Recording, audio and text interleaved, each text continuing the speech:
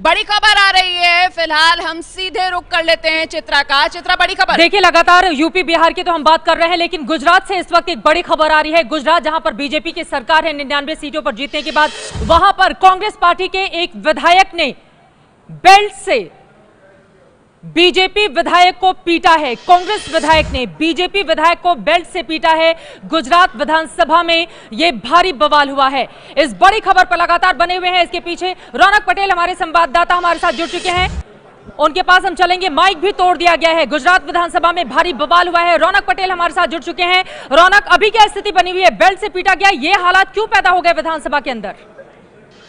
देखिए, कांग्रेस के विधायकों का आरोप था कि जब वो सवाल पूछने के लिए खड़े होते हैं तो उन्हें सवाल नहीं पूछा दिया जाता है।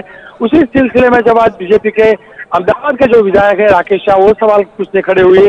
तो उनको शुरुआत में कांग्रेस के विधायकों ने रोका। उसके बाद में सीधी जो कांग्रेस के विधायक थे भाजपा के विधायकों के पास पहुँच गए। सीधी मारामारी भी हुई, मारपीट भी हुई। यहाँ तक कि बीजेपी के एक विधायक जो संघवी उन्होंने सीधा आरोप लगाया है कि कांग्रेस के विधायकों ने उन्हें जान से मारने की धमकी दी है।